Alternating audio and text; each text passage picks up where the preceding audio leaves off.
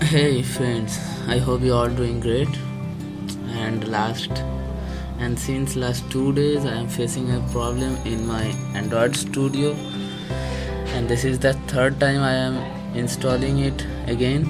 But the problem is exactly the same. Let's see. So here is the problem. If you just run your pro- program and it's processing and after kind of uh, almost 5 minutes you will get the error. Shown here that timeout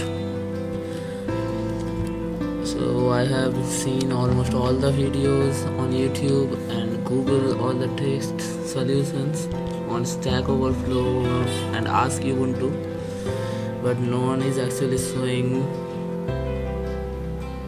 that how you can solve this problem. Maybe that's not working for me just. So what you can do is just go to this option app and edit configuration. Then select it as specified activity and browse it then main activity. And then use the option USB device. Okay that's it. Then apply. Okay.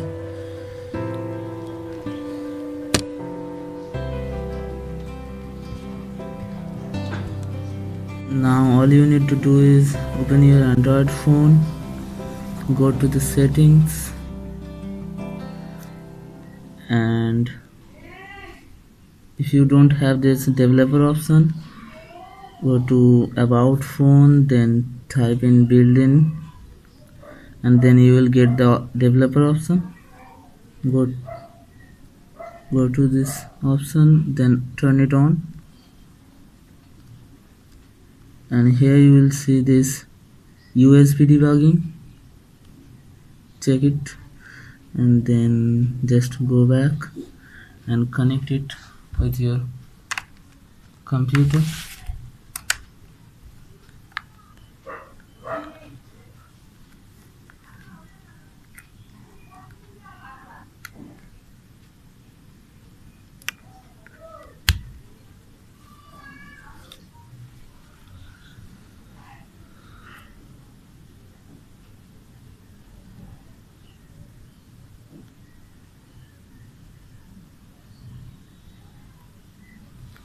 and now you just just do the, do some changes here. Let's say I have written some stars here added. So it should print hello world with this stars. Then just run it. And here it's saying processing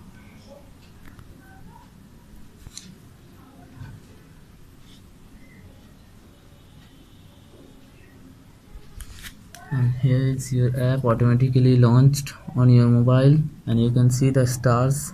That means it's working fine. You can try this. Hope it was useful. Bye for now